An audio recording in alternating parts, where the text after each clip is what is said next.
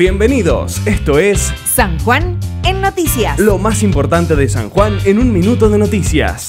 Volver a empezar. Internos del servicio penitenciario tendrán garantizado su derecho a la educación y podrán finalizar los estudios primarios y secundarios. También contarán con una escuela de capacitación laboral. En la Patria Chica. Con el foco puesto en las iniciativas departamentales, se realizó la décima quinta asamblea del Consejo Provincial de Seguridad Vial. Hubo numerosos avances y propuestas integrales. Por el campo. El presidente de Senasa, Carlos Alberto Paz, se reunió con Sergio Uñac. Tuvo una cargada agenda que incluyó una visita a la bioplanta de control y erradicación de plagas agrícolas. ¡Van por la gloria! El vóley femenino va a los Juegos Binacionales de San Luis con el objetivo de seguir creciendo. Con tres meses por delante ya comenzaron con partidos amistosos.